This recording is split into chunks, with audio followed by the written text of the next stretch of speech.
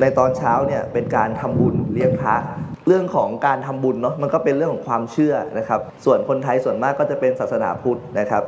ก็จะมีความเชื่อเรื่องเวรกรรมเนาะเวรกรรมเนี่ยผมมองว่ามันมีจริง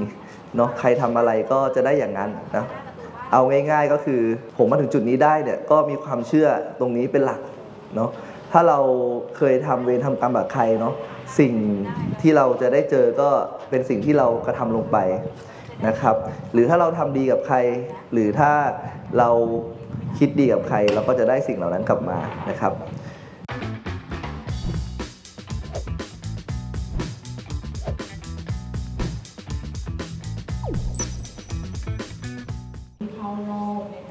สวัสดีครับ ผมบอสสาโรดสอแสงทองการช่างครับ วันนี้นะครับอยู่ที่บริษัทผมเองเนาะก็ต้องบอกว่าบริษัทผมเนี่ยก็เคยมาถ่ายคลิปไปแล้วหลายครั้ง นะครับ แต่วันนี้เราจะมาทำการจัดงานปีใหม่นะครับ ก็คือเริ่มตั้งแต่ตอนเช้าเลย ก็คือตอนเช้าเราจะทำบุญเลี้ยงพระนะครับ แล้วก็ตอนบ่ายเรามีการแข่งกีฬาสี แล้วก็ตอนค่ำนะครับ เราก็จะมีอ่าเป็นแบบเลี้ยงปีใหม่น่ะก็คือจะมีโต๊ะจีนมีอะไรมีคอนเสิร์ตอะไรมากมายนะครับ อย่าลืมติดตามชมกัน ผมหวังว่านะครับคลิปทั้งหมดเนี่ยที่ผมกล่าวไปนะฮะผมอยากจะทำให้อ่า คุณลูกค้านะครับหรือคุณผู้ชมหรือเป็น FC ผมเนี่ยครับได้ดู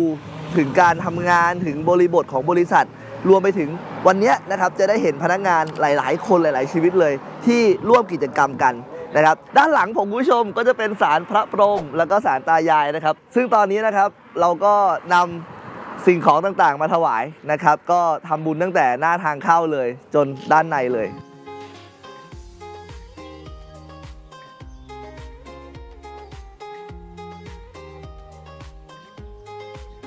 ด้านหลังของผมนะครับก็เป็นการแบ่งสีกันแล้วนะครับ ก็จะมีทั้งหมดสีสี เราจะแข่งกีฬาสีกันตอนบ่ายนะ ขอไปทำบุญในตอนเช้าก่อน เอาศีลเอาพรเข้าร่างกายก่อนนะครับ ก็เดี๋ยวผมจะขึ้นไปกล่าวนะครับ เดี๋ยวรอน้องๆฝ่ายหัวหน้าได้มาทำการพูดให้กับเอ่อ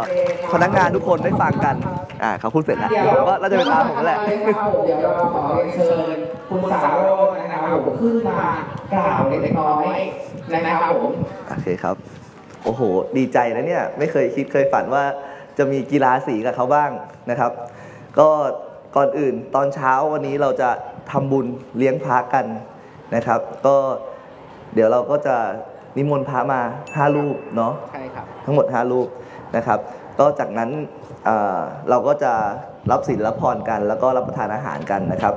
แล้วก็พอตอนบ่ายเป็นกีฬาสีเนาะใช่ครับผมโอเค มีเงินรางวัลไหมเรามีเงินรางวัล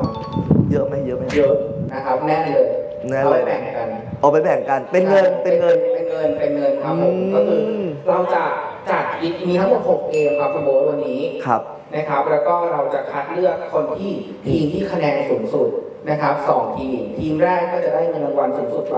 นะครับ แล้วก็ทีมที่สองก็รองมา ในตอนเช้าเนี่ยผมก็อยากจะกล่าวขอเปิดงานเกี่ยวกับการเลี้ยงปีใหม่นะก็คือส่งท้ายปีเก่าต้อนรับปีใหม่ ในตอนเช้าเนี่ยเป็นการทำบุญเลี้ยงพระเรื่องของการทำบุญเนาะมันก็เป็นเรื่องของความเชื่อนะครับ ส่วนคนไทยส่วนมากก็จะเป็นศาสนาพุทธนะครับ ก็จะมีความเชื่อเรื่องเวรกรรมเนาะเวรกรรมเนี่ยผมมองว่ามันมีจริงเนาะใครทำอะไรก็จะได้อย่างนั้นนะเอาง่ายๆก็คือผมมาถึงจุดนี้ได้เนี่ยก็มีความเชื่อตรงนี้เป็นหลักเนาะถ้าเราเคยทำเวรทำกรรมกับใครเนาะสิ่งที่เราจะได้เจอก็เป็นสิ่งที่เรากระทำลงไปนะครับหรือถ้าเราทำดีกับใคร หรือถ้าเราคิดดีกับใครเราก็จะได้สิ่งเหล่านั้นกลับมานะครับ แต่ก่อนเนี่ยผมทำรับเหมาต่อเติมบ้านเนี่ยตั้งแต่ประมาณ 8-9 ปีที่แล้วนะครับ ก็ต้องบอกว่าตอนนั้นเนี่ยเราก็ขี่มอไซค์ไปรับงานกับลูกค้าเนาะขี่มอไซค์ฮอนด้าคิกนะครับไปรับงานกับลูกค้า แล้วก็ลูกค้าเขาก็ไม่ค่อยเชื่อเราอะนะครับ แต่เราก็มีความมีความเชื่อมั่นว่าเราทำให้เขาได้ ก็ก็เริ่มได้งานมานะครับ แล้วก็ค่อยๆ พัฒนามาเรื่อยๆจนถึงวันนี้เนาะมีเรื่องเล่าเรื่องหนึ่งแล้วกันเนาะระหว่างรอพระจะได้ไม่เบื่อกัน แต่ฟังผมก็บางคนก็อาจจะเบื่อแล้วแต่ไม่เป็นไรจะเล่าให้ฟัง คุณเชื่อเรื่องชาติชาติที่แล้วกับชาติหน้าไหมคุณเชื่อกันไหมเอามีใครเชื่อบ้าง ยกมือหน่อยใครไม่เชื่อไม่ต้องยกมือก็ได้นะเอาเอาความจริงอะใครเชื่อบ้าง ชาติที่แล้วกับชาติหน้าเออหมาที่บริษัทเนี่ยไอ้ดำเนี่ยมันมีชีวิตไหมมีครับมันมีชีวิตอื มันมีจิตไหมมีผมก็ว่าเขามีดวงจิตเนาะเพราะว่าจิตมันก็คือเรื่องของความรู้สึก ลองไปรูปหัวมันดิถ้ามันรู้สึกฟินเนี่ยรู้สึกมีความสุขอะ่ะมันก็จะแสดงออกทางสีหน้าแววตา ใช่ไหมแสดงว่ามันมีดวงจิตเนี่ยไม่รู้ว่าชาติที่แล้วเกิดเป็นคนหรือเปล่า หรือเกิดเป็นอะไรนะครับ แต่มันมีชีวิตจิตใจแน่นอน เราก็มีโอกาสไปเกิดเหมือนมันหรือเปล่าอันนี้ผมก็ไม่รู้นะแต่พระท่านบอกว่าเราก็มีโอกาสเกิดเหมือนเหมือนเขาเหมือนกันนะครับ ก็มีคำถามต่อมาว่า บางคนที่ไม่เชื่อเรื่องชาติที่แล้วกับชาติหน้าเนี่ย คุณก็ลองคิดดูว่าเมื่อวานมันมีจริงไหม แล้วพรุ่งนี้มันจะมีอีกไหม อันนี้ก็อาจจะเป็นคำตอบได้อีกคำตอบหนึ่งนะครับ ยังไงต่อครับ ต่อไป เราจะมามีบูมเหมือนทุกเช้าที่เราประชุมกัน เรามีมอนิทอร์คือแล้วครับคุณโบ๊ทเอ้ยใช่อยากเห็นไม่ได้เห็นนานแล้วเดี๋ยวทำเชิญตัวแทนก่อนทั้งออฟฟิศ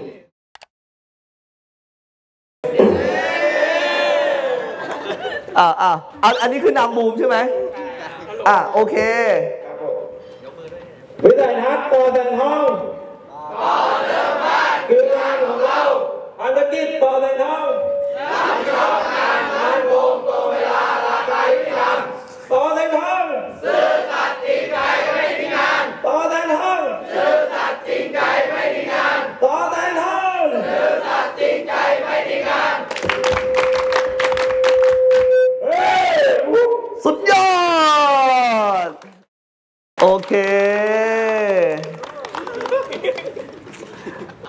ดีมากเลยครับ เป็นการ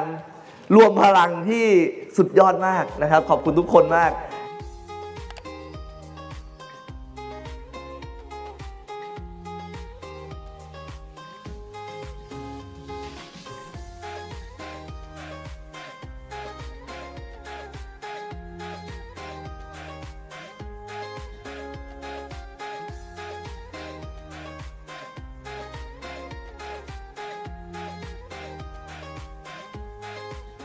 ก็ตอนนี้นะครับ เดี๋ยวรอพระสงฆ์นะครับ ฉันพระตาหารก่อน แล้วเดี๋ยวเรามารับพรกันหลังจากนั้นนะครับ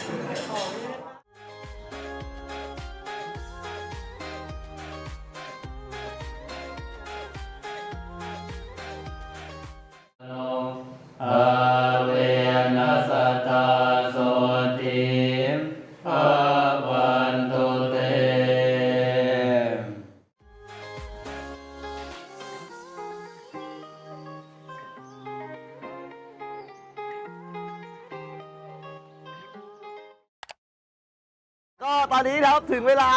กินข้าวมาแล้วนะครับ เดี๋ยวผมมาตักข้าวให้น้องๆก่อนเอาไหมครับ เอาเยอะไหมเอาไม่เยอะเออเอาเพิ่งนะโอเคพอเนาะโอเค เอาเยอะไหมครับโอ้ดูทำไมทานข้าวน้อยจังเลยอะอ๋อมีอีกถ้วยหนึ่งโอเคไอ้ยหอมยังไงเนี่ยนี่อยู่กันมานานแล้วนะครับ ต้องบอกว่าอยู่กันมาหลายปีแล้วหอมกินเยอะไหมไม่มาเยอะค่ะไม่ค่อยเยอะหรอคะเอาอีกเปล่าพอแล้วค่ะ เอาใบไม้ไปด้วยใบไม้ไม่มาใบสาระแหน่สาระแหน่แม่โอเคอ้อมอะไรอ้อม นี่อ้อมก็อยู่ด้วยกันมานานนะครับต้องอ้อม เอากี่ชิ้นคะเอาสองชิ้นค่ะสองชิ้นเหรอ เอาหัวไหมไม่เอาค่ะไม่เอาหัวนะ เอาสามไปเลยไม่กินเอาไหมครับ เอาครับ โอเคครับไม่พอหาเนื้อให้อยู่นะครับ เอากี่ชิ้นดีครับ เอาสองชิ้นค่ะอะให้สามเลยครับ โอเคครับ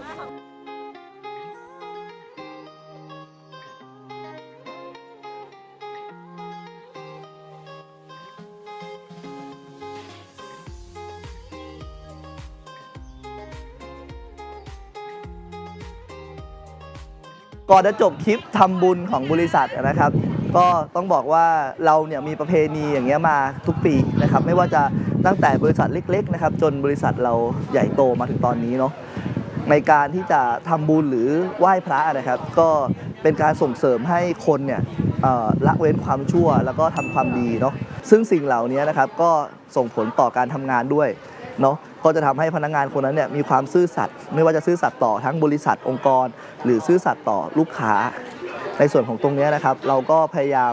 ให้หลักธรรมะนะในการดำเนินองค์กรดำเนินธุรกิจ แล้วก็ดำเนินชีวิตของทุกๆ คนในบริษัทนะครับ คลิปนี้ก็เพียงเท่านี้แล้วกันพามาเก็บภาพบรรยากาศ